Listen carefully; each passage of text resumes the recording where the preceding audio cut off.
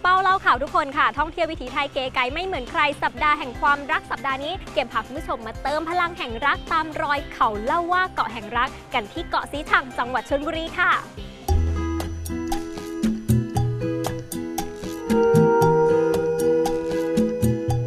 ผู้ชมคะ ความงดงามแห่งความรักที่ซ่อนตัวอยู่ภายในเกาะสีชังแห่งนี้ ก็คือพระราชวังพระจุฑาทุตราชฐาน ในพระบาทสมเด็จพระจุลจอมเกล้าเจ้าอยู่หัวรัชกาลที่ 5 เพื่อเป็นที่ประทับในฤดูร้อน และยังผสานความงดงามของภูมิทัศน์โดยรอบ แวดล้อมไปด้วยชายหาดท่าวัง และเรือนไม้ริมทะเล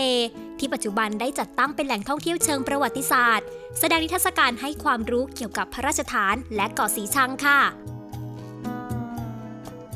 ล้กันนี้มีสะพานท่าเทียบเรือสีขาว หรือสะพานอัสดาง ที่โดดเด่นตรึงสายตาของผู้ที่มาเยือน จนกลายเป็นตำนานเขาเล่าว่า ของการท่องเที่ยวแห่งประเทศไทย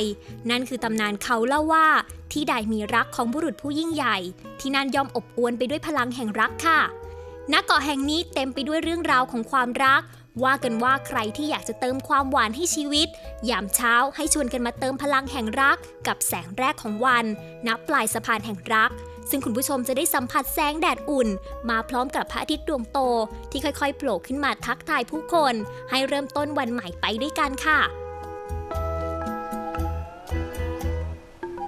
เดินชมความงดงามของสะพานไม้แห่งรัก และพระราชวังจุฑาทุตราชฐานไปแล้วเกมไม่พลาดพาคุณผู้ชมขึ้นไปนมัสการศิรารอยพระพุทธบาทโบราณ ที่อัญเชิญมาจากพุทธคยาประเทศอินเดีย เพื่อนำมาให้ผู้คนบนเกาะแห่งนี้ ได้แวะเวียนมาสักการะ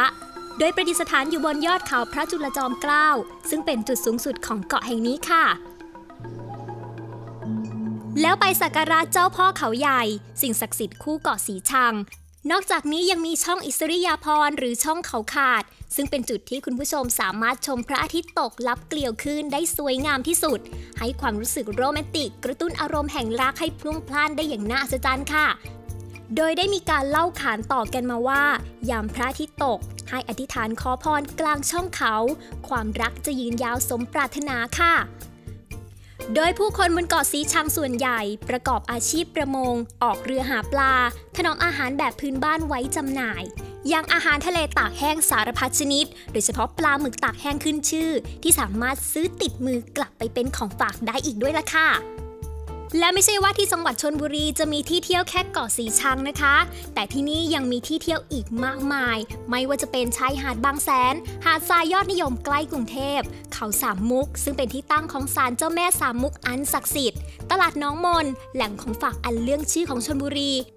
ส่วนในสัปดาห์หน้าเก็บจะพาคุณผู้ชมไปท่องเที่ยววิถีไทยเก๋ไก่ไม่เหมือนใครที่ไหน ติดตามได้ที่นี่ที่เดียวค่ะสำหรับวันนี้บายบายค่ะคุณผู้ชม